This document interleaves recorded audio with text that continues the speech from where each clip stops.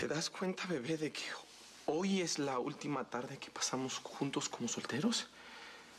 Y que en dos días, en dos días, vas a ser por fin la señora Escudero.